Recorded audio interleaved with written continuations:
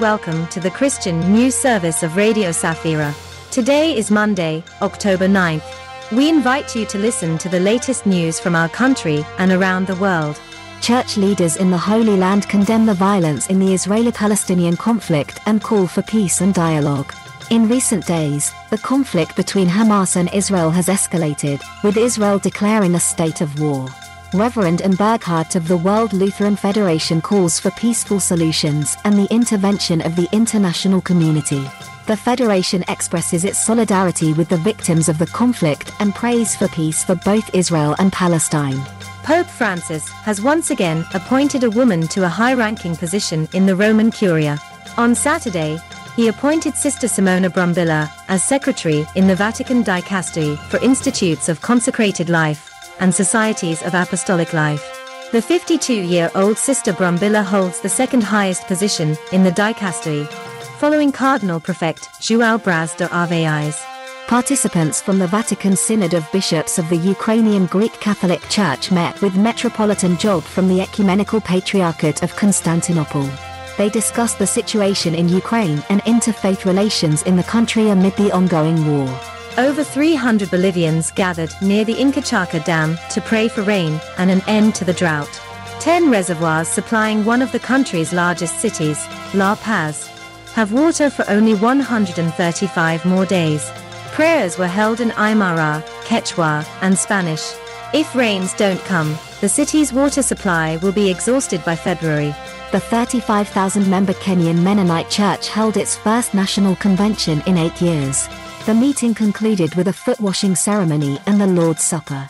Bishop Samson Omondi emphasized the importance of the Mennonite World Conference mission and its close relationship with the church. The situation in Kenya is challenging due to rising food prices caused by the war in Ukraine.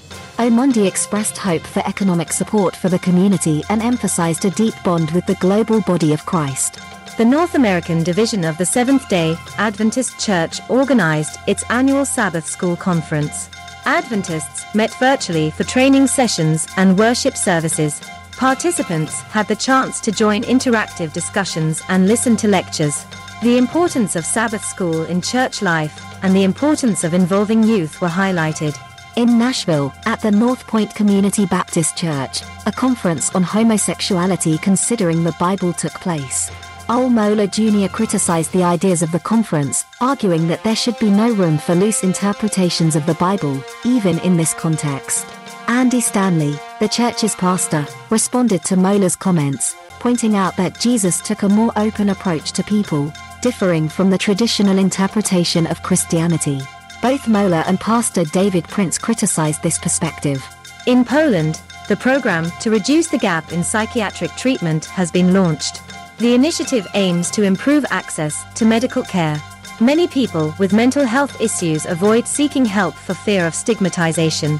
The program will train primary care doctors to recognize disorders and refer patients to specialists.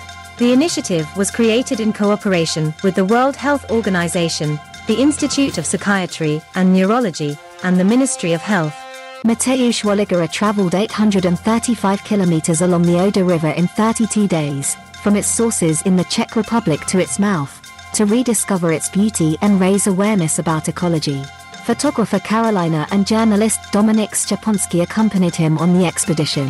Waligura emphasized that the Oder is a river full of stories and that Poles should care for its condition rather than objectify it. He recalled captivating landscapes, including meanders, the lush forests of Lower Silesia, and the mysterious Cistercian Abbey in Lubiaz. That's all for today's news service. We wish you a good week ahead. Stay tuned to Safira FM. May God bless us all.